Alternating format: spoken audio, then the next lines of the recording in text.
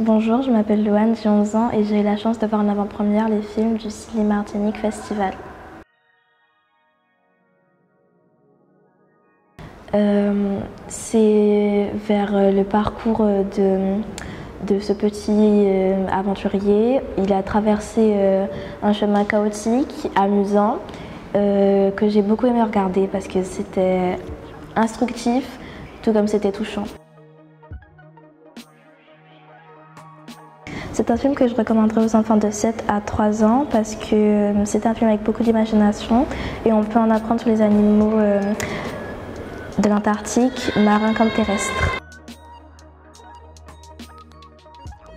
Ce que je peux vous donner comme information sur le château solitaire dans le miroir, c'est qu'on a un mélange d'histoires fantastiques, tristes, touchantes, euh, et c'était vraiment passionnant parce que on en apprend beaucoup sur la situation de personnes euh, qui se sentent au plus mal.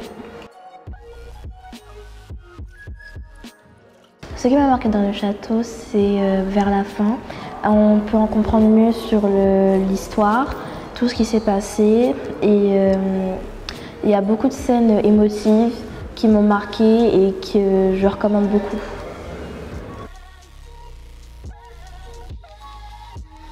Je recommanderais Katak et le château solitaire dans le miroir car ce sont des films émouvants avec une histoire pleine de surprises. A très bientôt Ciné Martinique Festival.